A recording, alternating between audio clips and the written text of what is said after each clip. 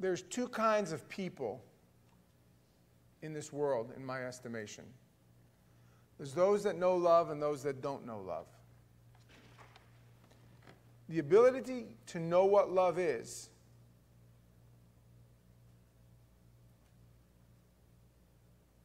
comes with a baby. In the street, we knew as soon as somebody had a kid, basically their career was over. Because all of a sudden they felt. I did not know love until Elena was born. No clue. Not even, not even the love for my wife. Nothing compared to the look that I got from Elena. Nothing compared to the sound of her calling me daddy. I remember the first time she called me daddy. Hmm. When she was about 14 months old, I took her to the zoo, and she decided that was her time to scratch my face with two hands. Remember, Elena? Me and Joy took her to Metro Zoo, and if you've ever been to Metro Zoo, that's a long, hot day. And a 14, 15 month old baby. Well, at one point, she just striped my face with her nails. And I just smiled. I said, I love this kid, even when she's scratching me.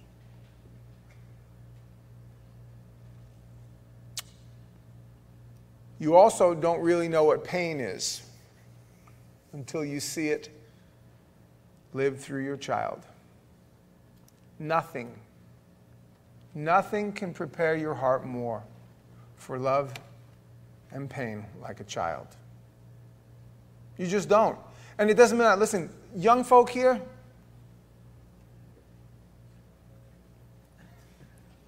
when I tell you you don't know, you don't know. And I'll tell you why you don't know.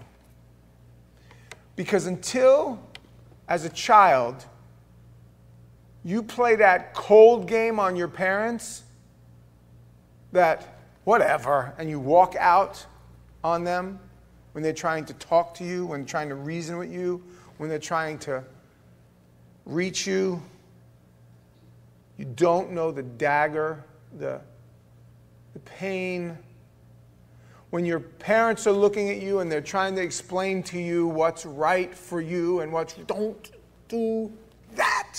It won't end well. The Bible calls it taking counsel in your own soul. Children up to 20 plus years old are really good at taking counsel in their own soul. I'm going to do this. Why? Because I feel like it.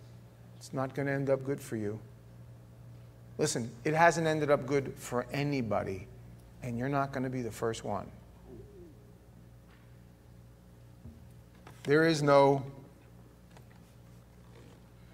You, you, the kids, they look and they see the other kids having so much fun. They're getting drunk and they're getting high and they're having sex and they're just enjoying themselves. No, they're not. They're in just as much pain as you are. And a hangover and guilt and shame. That's not society's construct.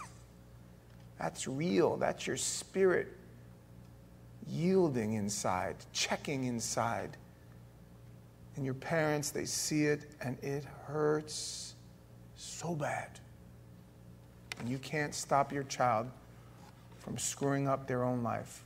And there's nothing that can prepare you for that. Nothing. You think you know what pain is, like you had a dog that died or a friend? Nothing. Zero.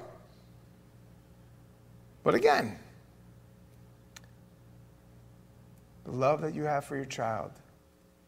When you, when the Lord Jesus said, No greater love hath than this, than he who lay down his life for his friend, that takes effort. If you have a friend and like you will lay down your life. For that takes effort. Let me tell you something.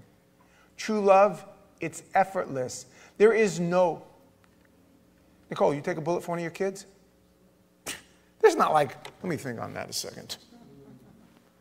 Like one of your friends, your high school best friend, needs a liver. You're like, you know what? Let me ponder this a second. Is there any money in it? They're going to leave a house for my kid if I die? If you had to live in pain so that your child wouldn't, you wouldn't even. As a parent, you wouldn't even. You don't understand, young folk. The pain that an adult feels when a child uses the love that you have for them against you.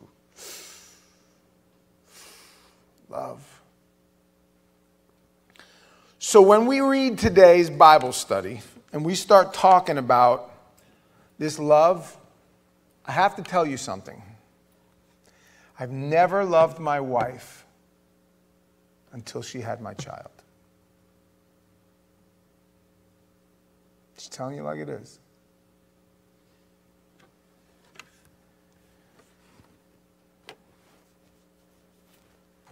I have to give you two caveats. First caveat is if you are here and you are a barren person, you you never had children, you know, listen, I'm not saying you don't know what love is. I'm just saying you don't know what this type of love is. I'm not saying you've missed out. I don't want you to man, feel bad. Don't do that. Let's, let's rejoice for something else without, you know, putting ourselves in that position of victim. That said, caveat number two, I expected this. Today, here's today's Bible study. My wife is supposed to be sitting there and say, Baby, come here. And everybody's going to watch my beautiful bride walk down the aisle I was going to sit her here. I was going to say, the only way I can do this Bible study, honey bun, especially the day before Valentine's Day, is by looking at you while I read this. Because any other way I read it, it's going to really, I'm going to sound like a sick, twisted pervert. I am. I'm sorry, I am. I've never studied this book before, guys. This is the first time I've ever actually had to do a deep study in this book and we, we've explained it, and that's why I'm kind of, apologies, rushed through it.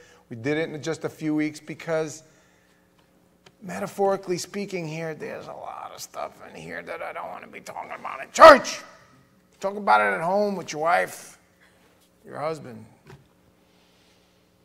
But having said that, the love that we can, again, metaphorically use that Maybe this is one of the, one of the ways we spiritualize. And if you weren't here the first week we studied this book, I apologize. Get the tape. I'll explain spiritualizing a text. I don't want to do that all again. That's a 10 minute discussion. But one of the ways we spiritualize the text, we said, you know, this book is like a love letter written to God's people. And as they read it, it could be God speaking to them. And you'd have to strain out some of the pits, but that's okay. But the love that God has for us, we know that He knows what love is. Because He had a child that was murdered. And that kid didn't have to be murdered. That's pretty, that's pretty, you know, it's one thing. Uh, if they came to me and they said, listen, we're going to, um, we're going to take your son Josiah and we're going to kill him, but don't worry, everybody else in the world is going to have the ability to be saved. I'd be like, sucks for them. no, it's my only son, my only begotten son. Can't have him. But what if it's good for everybody else? Sucks for them. So, the love that God has for us, poured out in these words, with the sincerity that exists. It's interesting. Think about a few of the ways that we spiritualize a text from week one. As I read to my wife sitting right there, not sitting there, The daughters of Jerusalem say to the Shulamite, Where has your beloved gone, O fairest among women? Where has your beloved turned aside, that we may seek him with you? My beloved has gone to his garden, the Shulamite replies, to the beds of spices, to feed his flock in the gardens, and to gather lilies. I am my beloved's, and my beloved's is mine. He feeds his flock among the lilies. Then the beloved says, Oh, my love, you are as beautiful as Tirzah, lovely as Jerusalem, awesome as an army with banners. Turn your eyes away from me, for they overcome me. Your hair is like a flock of goats going down from Gilead. Your teeth are like a flock of sheep which have come up from the washing. Every one bears twins, and none is barren among them. Like a piece of pomegranate are your temples behind your veil. There are 60 queens and 80 concubines, and virgins without number. My dove, my perfect one, is the only one, the only one of her mother, the favorite of the one who bore her. The daughters saw her and called her blessed. The queens and the concubines, they praised her. Who is she who looks forth as the morning, fair as the moon, clear as the sun, awesome? as an army with banners. Please give me your attention. If you were to break this down and describe one by one, this is what's called enraptured. If you've never been enraptured with somebody, I pity you, and I hope someday you are. I am, after 30 years, enraptured with my wife. Her hair drives me crazy. The smell of the nape of her neck is so intoxicating to me. You see, it says there, I love, I love this line. He, he says here,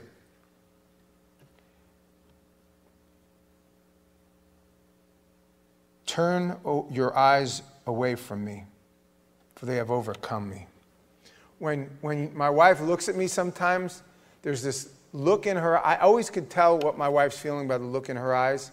If her eyes are cut, I'm in trouble. If they're big and round,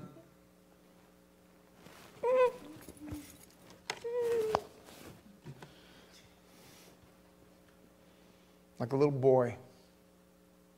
I am. To think that that's how God thinks about us, you know, this is really difficult to do, but I want you to remind, I, I want to remind you something. The Bible says that you are the apple of his eye. The Bible actually insinuates in a few different parables that if you are the only one who is going to receive salvation, he would have still died for you. Some of you guys have been used, abused, misused, violated, defiled. And you know what God thinks about that? He says, I love you so much. It is so, to think that you turn God on by loving Him back. I want to remind you something, and please stay with me with a pure heart here. We are um, trying to remove some of the filth from our hearts. That Christ is a picture of marriage.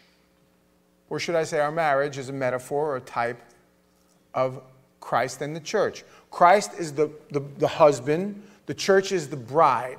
And in worship, when we were sitting here worship, and all I did was worship, you know what I mean? That is the metaphorically, wow, what was that?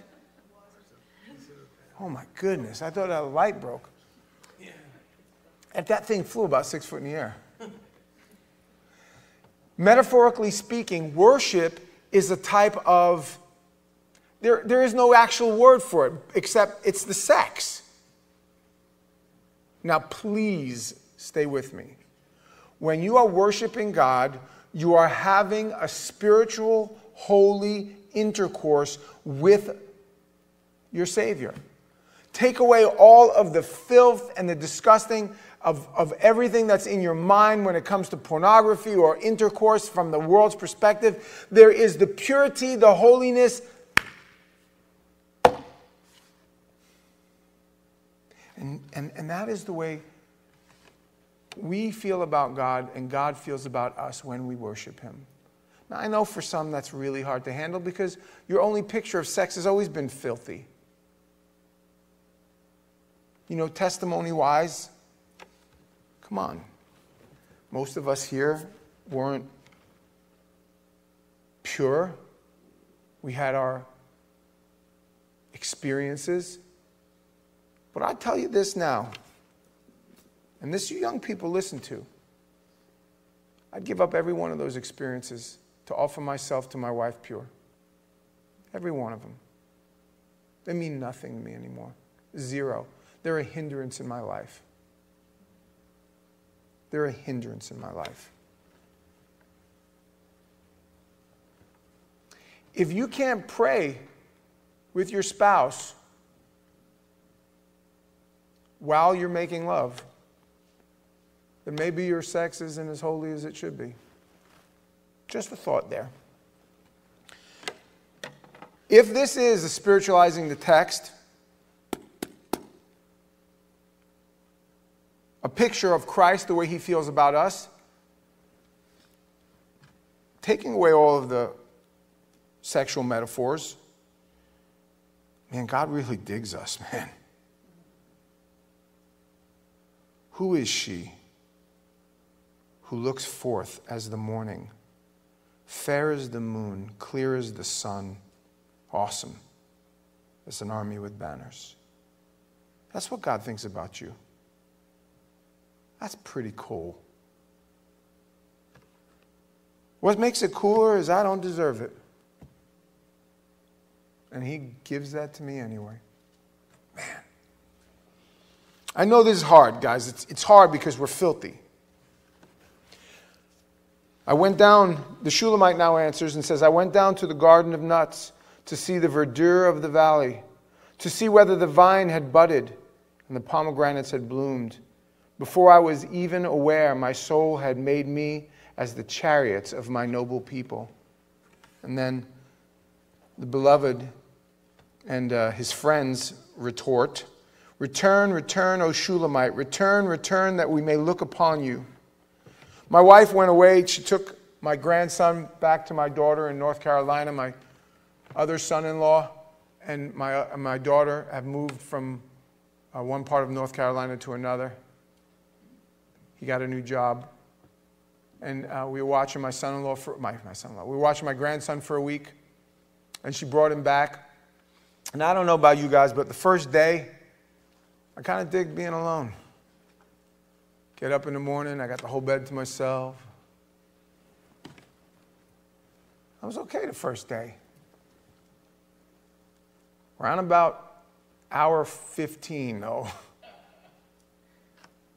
Return, return, O Shulamite, return that I may look upon you. How many of you guys here, don't raise your hand, it doesn't matter. How many of you guys are FaceTime people? You never call each other anymore, you just FaceTime. Mike is like that. Tarzan, Mike, real Tarzan, you do that? That's what you do? I, you know, I just call people. Hello, I text. I'm, I like texting people. But some people like they're they're they, they're like they're always FaceTiming. They'd be driving and you're like, "Hey, how's it going? Yeah, let's uh, let's not die while we're talking." that would be really bad. I'm not like that. Just text me, baby. How are you? Good. You know, safe landings. Yeah. Can I call you? Eh, I'm a little busy. Call me later. By hour 16, I was FaceTiming her every 15 minutes.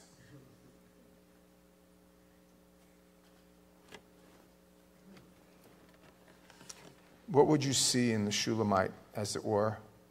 The dance of two camps? Speaking about herself, what do you see when you look at me? I hate that about women. I hate that. All women think they're ugly. They all think they're fat and ugly and nasty. Nobody's going to want them. I hate that. All I see when I look at my wife is beauty. I see nothing else. There's nothing else. My wife's like, honey, do I look fat in this? Like, you have to be fat to look fat, babe.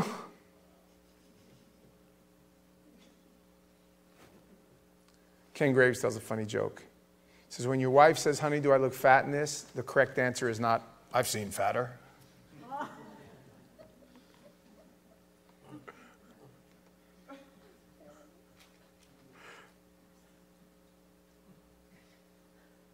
What do you see when you look at the Shulamite?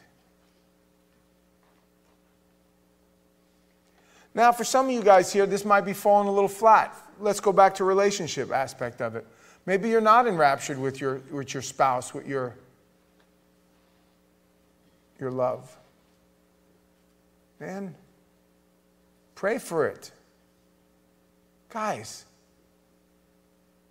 if you knew how sick it is to be around Brian and Magdi just for five minutes. It's about half as sick as being around Arlie and Andrew. I am so disgusted. Arlie tries to hide it from me, and she does such a terrible job. Ugh. I love it. Then he looks at his beloved again, his wife again, and he says, How beautiful are your feet in sandals. Now, you know that's some love when you like the woman's foot. Think about it. I don't know if you're a foot man or not. Maybe you're a shoe guy, because this guy was a shoe guy. Man, look at them feet and them sandals. Give me some high heel pumps or something, some big seven inches. You know, my wife sometimes she wears them high heels. She looks me right eye. I'm like, man, look at that woman so big, tall. I mean, tall. You just called me fat. I didn't call you fat. I said tall. I said, you said big. I didn't mean big. That's how guys say tall. Night's over. That's it. Over. Done. Oh, Prince's daughter. I got, I'm sorry, guys. I'm sorry.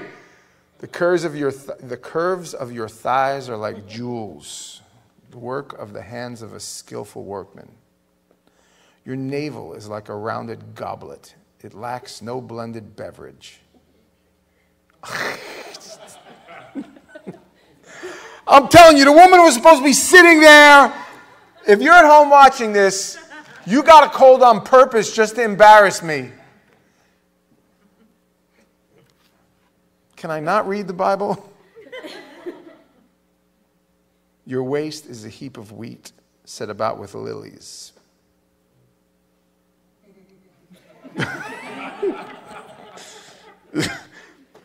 YouTube press like forms of gazelle.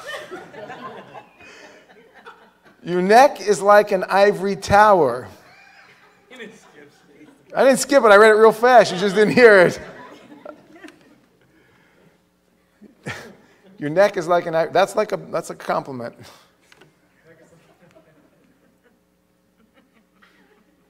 Your neck is like an ivory tower. There you go. When was the last card you seen with that in it? Your eyes like the pools of Heshbon by the gate of Bath Rabbim. Your nose is like the Tower of Lebanon,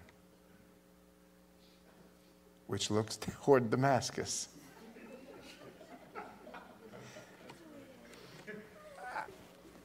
I have no idea what that means. I mean, Your head crowns you like Mount Carmel, and the hair of your head is like purple. A king is held captive by your tresses. Purple back then was another word that, that, that wasn't purple as like the color purple when uh, uh, royalty always wore purple. Purple was silk of the day. That's what silk was. oh, that's purple. That's, that was this long flowing silk. And you guys know what tresses are, right? That's hair.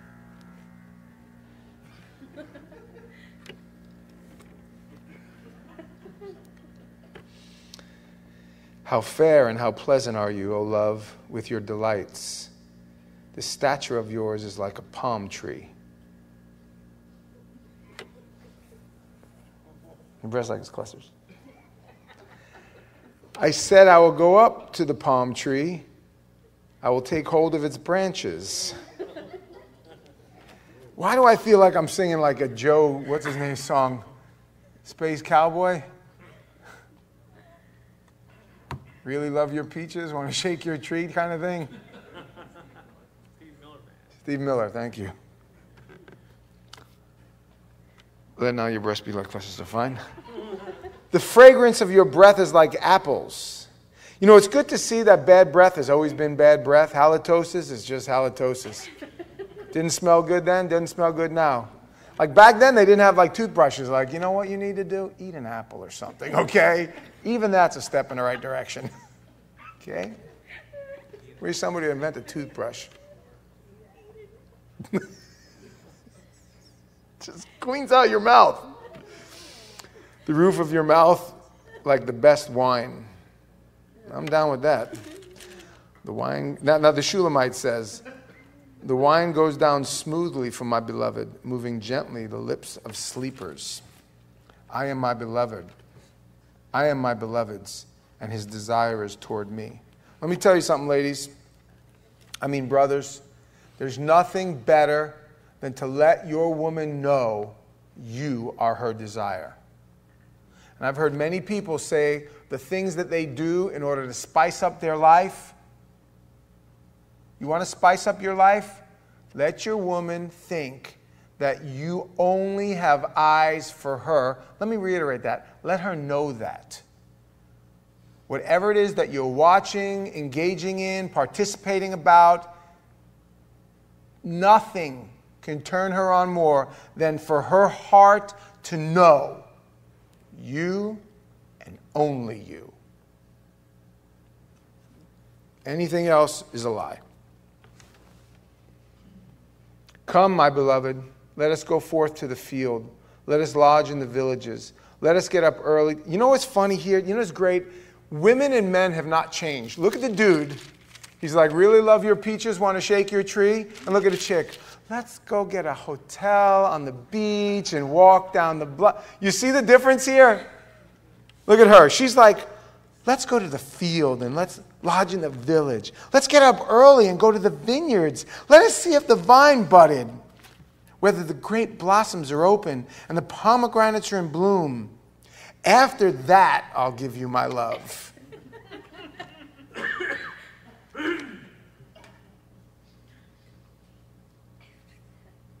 we have to, can't we just like stay home and watch a movie? No. We're going to go and we're going to get a hotel on the beach. We're going to have a nice dinner. We're going to go for a walk on the beach. And if you behave after dessert, I will give you my love. The mandrakes give off a fragrance. And at our gates are pleasant fruits, all manner, new and old, which I have laid up for you, my beloved. You see, that's a woman that knows how to turn her man on. Dog, I got food prepared back at the place. That's it. See what she said there? The mandrakes, that's a type of cake. That's, that's a. Um, actually, they used to think that a mandrake was uh, aphrodisiac. They give off a fragrance, and at our gates are pleasant fruits, all manner, new and old, which I have laid up for you, my beloved. Yeah, that's it. When we get back to the house, food. Let's do it. That woman knew how to get her husband. It's that simple. Hey, ladies, it's not really hard. The, the whole thing here, you want to keep your man? Food and sex. Sit. That's it. You cut off one or the other, you've just lost a relationship. Now, you guys might think, man, that's not funny. That's, that's, not, that's not a joke. I ain't joking. You don't know how to cook? Learn. And if you don't know how to cook, learn. Talk to your mama. Talk to a friend. They can teach you how to cook. That's what sisters are for.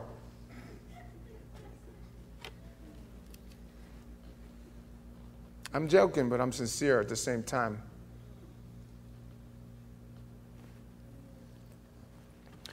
Oh, that's right. That's an old saying. The way to a man's heart is through his stomach. And my wife used to say, and if you mess up, the way to your heart is through your stomach.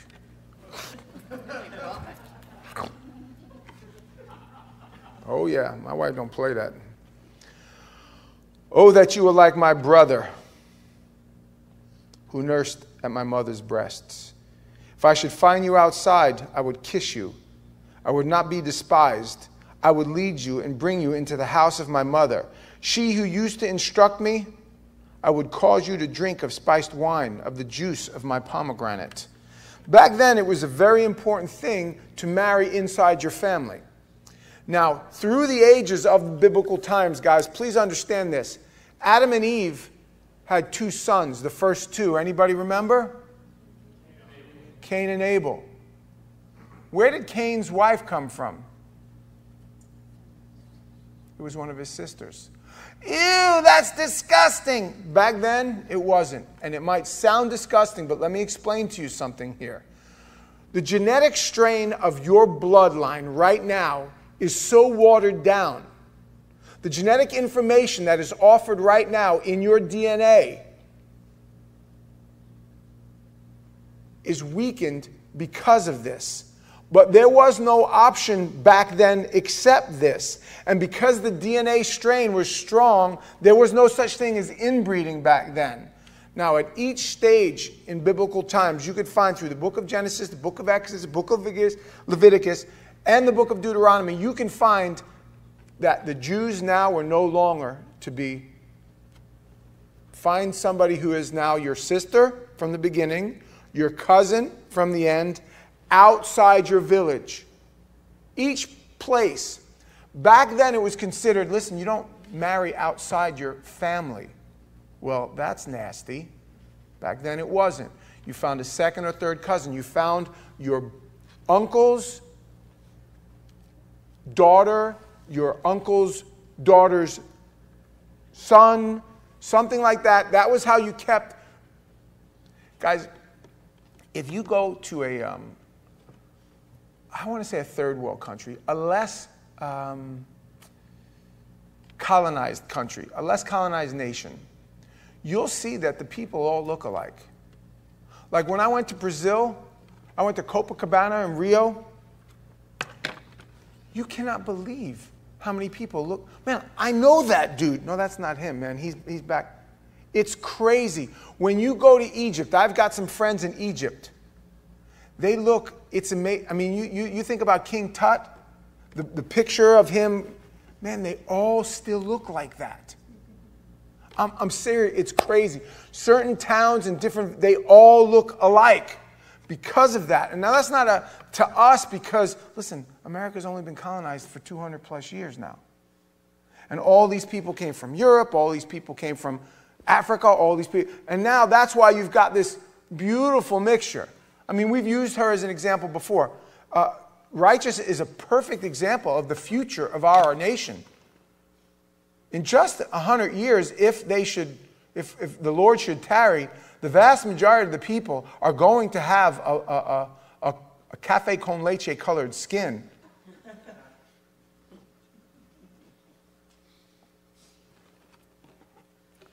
Because now it's okay. How you talk to Matt about his growing up? It was scandalous, wasn't it? You married a white dude? Girl, you crazy? You can't find someone your own color? It's the same thing for my parents. My father's Sicilian, my mother's Jewish. And my father was, if you guys remember, he's dark skinned. He was a whole lot, a lot darker than you. My mother was just lily white. It's like, oh my goodness, you marry a, you don't marry an Italian? You know what the point is? Let's get over those things. Let's not worry about that stuff anymore. But back then, this way, I don't know how I got off on such a tangent. The daughters of Jerusalem, my favorite part of this whole Bible study. His left hand is under my head, his right hand embraces me. I charge you, O daughters of Jerusalem, do not stir up nor awaken love until it pleases. And here's the visual I get in here, right? Finally, she sees her beloved. He takes her right hand and he wraps it around her head, takes her left uh, her body, takes her left hand, wraps it around, and he dips her. Here's the dip. and he's looking deep in her eyes and he's about to kiss her. And just before his lips meet hers, she goes, Don't do this unless you're married. Just want you to know. I see, I visualize this. Not unless you're married, of course. I love that line. Some people have this idea that, um, that the Bible does not say anything about sex before marriage being an infamia, as we say in Italian, or a sin. Make no mistake about it. Young folk, you can talk yourself into it all you want. You can make believe fornication is not pornography. Fornication is two people who have not before gone before God and man and said, I do and I will forever. That's what fornication is. And whether it's homosexual sex, heterosexual sex, or any other sex beyond that. One man, one woman is marriage before God. Before God. Outside these walls, what people do in the world, that's for, the, that's for God to judge. Here's what we do in here, though. You guys understand what I'm saying? Do not stir up nor awaken love until it pleases.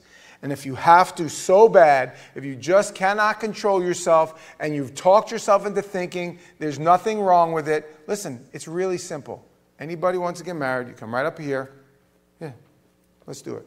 Do you want to get married to this person? Do you want to get married to that person? Yes. Are you promising never to have anybody but her? Are you promising? Yes? Okay, good. Well, let's join them together and, and, and go. Then you go have your fun. But if your spouse slash boyfriend slash girlfriend slash whatever is not willing to do that, you're selling yourself out, sister. Brother, you're being deceived and tricked. It's that simple. Then some relative comes along and he wants to throw his two cents in. Who is this coming up from the wilderness leaning upon her beloved? I awaken you under the apple tree. There your mother brought you forth. There she who bore you brought you forth. Then the Shulamite looks at her husband and says, Set me as a seal upon your heart, as a seal upon your arm, for love is as strong as death. Did you hear what he just said? Now, this is why I started the Bible study with where I started it. If you really want me, set me as a seal upon your heart. Now, that seal, do you guys know what a seal is? Not, oh, oh, oh, not that seal. Back in biblical times, in order to, to seal something, you've wrote a letter, you wrote a contract, you took wax and a signet ring. You burned and melted the wax and you put your ring in it and had usually your initials or your family crest or something in there. Boom, done. Set me as a seal. Don't abuse me. You've enraptured my heart. You've won my love. Go the rest of the way. Set me as a seal upon your heart, as a seal upon your arm. For love is as strong as death. Boy, can you hear God saying that to you? Isn't that what the Lord Jesus says to us? Set me as a seal upon your heart. Set me as a seal upon your arm. Not just the inside, but the outside. For my love is stronger than death. What a great line that is. What an amazing line. Didn't, didn't we worship to that song just the other day? Was that today? Or was that the other night? It's a great line. Jealousy as cruel as the grave its flames are flames of fire, a most vehement flame. Many waters cannot quench love, nor can the flood drown it. If a man would give for love all the wealth of his house, it would, utterly be despised. Whatever it is that my in laws want, so that I can keep my wife my wife, it's nothing. I would do it. If my wife was to get into a boat and, and, and go to the farthest ends of the earth, it wouldn't stop my love for her. There is no flood that can drown my love for my wife. It's none. It's not going to happen. And if I had to pay to win her back, to get her back, it's an old saying, it's a funny story, and I don't know if it fits, but it's worth telling because I, rem- I remembered it the other day. True story. Chuck Smith, I believe it was Chuck Smith, one of these pastors was out with a friend of his who's a doctor. And they go out to a restaurant. It's a bagel place, I think they said. They was eating a bagel. And a guy two tables down gets up and he starts waving around. And the doctor runs over, puts him in the Heimlich, boom, pops that thing out. oh, thank you so much. And the guy says to him, Hey, let me, thank you so much. You saved my life. Let me buy you breakfast. He goes, Nah, it's not necessary, man. Well, can I give you something? He looks at him without, because I guess he's a doctor, he says, Give me what it was worth when you were choking.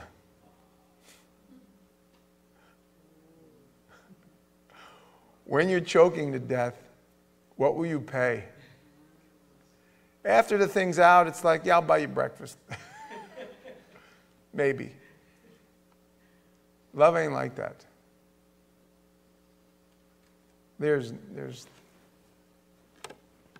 I spend way too much money on my wife. Way too much money. Look at the Shulamite's brothers. Boy, nothing's changed here. Listen to this. This is classic brother stuff. Classic brother stuff. We have a little sister. She has no breasts. What shall we do for our sister in the day when she is spoken for? If she's a wall, we'll build upon her a battlement of silver. And if she's a door, we will enclose her with boards of cedar. You ain't going nowhere near my sister. Look at her. Look how young she is. She what do you want? She's not even pubescent. Get away from our sister. That's good brothers right there. But look at the, the sister, the, the daughter, the Shulamite says, I am a wall, and my breasts like towers. then I became in his eyes as one who found peace. Solomon had a vineyard at Baal He leased the vineyard to keepers. Everyone was to bring for its fruit a thousand silver coins. So, the purity of love, it's the purity of love. Every brother sees his sister as pure and young and holy. Get away from my sister. No, it's time. Sometimes it's, it's time. Listen, it was a hard lesson for me. If you're, if you're a mother or a father here, Elena's courtship was no easy. You know, I was in, I was in a, a, young, I was a young, strong father. I was voted three times at Calvary Chapel, Fort Lauderdale, the scariest father. That's the truth. Ask her. Anybody weren't near my daughter. It was, I didn't care. You know, at a time when everybody was playing Christian, oh, everybody wanted to be nice words. I didn't do that. You go near my daughter again, son, you're going to wind up in your father's trunk, I promise you. I'll hang your head on their door. Don't play with my daughter. I ain't the one. did you just say that? Yeah, I just did. Yeah, I'm supposed to be a Christian. All right? Play with my daughter. See how much of a Christian I am. She'll tell you. So when Austin came around, it was a setup from the Lord. He had stole my heart, my right hand man, my best friend, my, my boy, raised them in my house. And he said to me, I, I really, you know, he wanted to and this, this, he might not remember this, but I remember this. He's like, hey, Ryan, um, can we some, someday sit down and talk about it? Yeah, we'll get to that. We're going to talk about Elena one day. We're, yes, we are. Next Thursday, on a day off, we'll both be home. We'll do that. I, you know, I got to take my wife out to dinner tonight. We'll talk next week about it. You know, I put it off and put it off and put it off and put it off. And the first day he said to me, I think the Lord's calling me to marry your daughter. And I said, you know, that's a thoroughbred there, right? That ain't no joke. You got to be stronger spiritually, you got to be wise mentally. She'll kick your butt. Are you sure that's what you want to do? I'm not, I'm not lying, guys. This might sound like I'm just, oh, I'm preaching. This is how I live my life. Don't you want this for yourself? Sisters, daughters here, don't you want that? Don't you want to be able to come to a brother if you don't have that at home and say, hey, this guy, he's courting me? Don't you want somebody to go and say to your, one of your prospective mates, hey, what you, what you got on your mind, son? Don't you want that?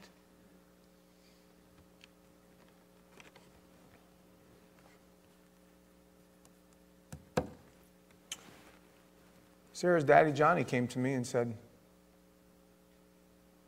I'm lonely. It's been over a year since my wife passed. Find me a wife. I said, All right, I'll do it. And I said, Man, I, I walked through, I was like, God, I ain't gonna be able to do this. you got to show up for this one. This, this, is, this is a toughie, God. I've been given a lot of tasks in this land. Can, can I just build another barn or something like that? God showed up in mighty ways.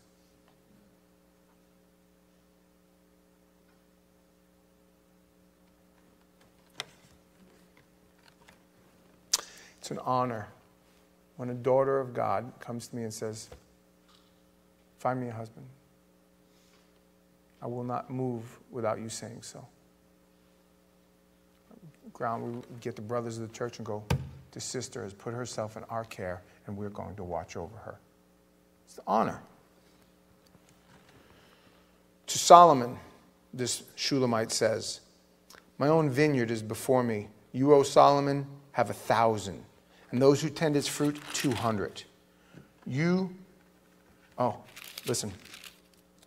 One of the ways that we looked metaphorically at this Bible study was that Solomon was a type of the world. The Shulamite was us. And Solomon was trying to tempt or tease the Shulamite to come back into the world as the world calls us. Here, the defense for this spiritualization of the text is right here, where the Shulamite looks at Solomon You've been trying to tempt me. You're trying to tease me. You're trying. She says, I have one vineyard. You have a thousand. And you have 200 that tend its fruit. No. One. It's enough for me. One. Go try to tempt somebody else. I love this. This woman, the Shulamite, she's not just, she doesn't just have a neck like a tower. No. She doesn't just have a nose like a bridge. No. She's strong. She said, I'm not interested. I have my man. Then the beloved says, You who dwell in the gardens, the companions, listen for your voice. Let me hear it.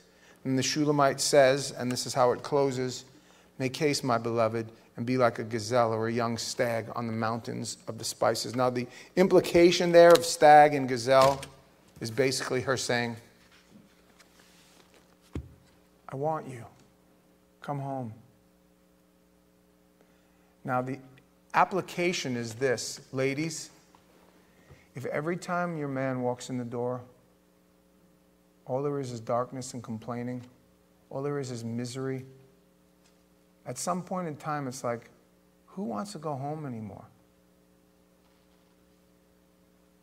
When your husband comes home, yeah, we know you've had a hard day. You both had a hard day, and he might not know it. You've been taking care of kids all day. You've been cleaning the house all day. Maybe you've been running your business all day. But if your husband gets home and it's nonstop complaining and whining, and you take care of this and you do that now, don't be surprised if he doesn't want to come home. When he comes home, you did it, baby. Another day. The world did not beat you. Come in here. Come in here. You sit down. I'm going to feed you the best meal you ever had. That sounds stupid to some of you guys, but let me tell you something. You want your man to come home at 3 in the afternoon instead of 6 at night? You treat him like that once in a while. Hey, baby, I'm going to work late. Do you have to? Yeah, I have to. Well, why do you think he always has to work late? I'm not trying to come down hard on nobody here. I'm just trying to tell you. If this is our background for love and we look metaphorically at all the different ways it exists, metaphorically speaking, this is what we're looking at. And if any guys want to take that last part, but not the rest of the part, shame on you. Make sure the other part, too. Make sure you only have eyes for your wife. Make sure you're constantly telling her how beautiful she is. Make sure you're enraptured with her. And after that, after you've done all those things, if you get home and all it is is complaining and, oh, you, what's for dinner? Pollo Tropical. Well, I like chicken, but three times in one week, Pollo Tropical gets a little boring.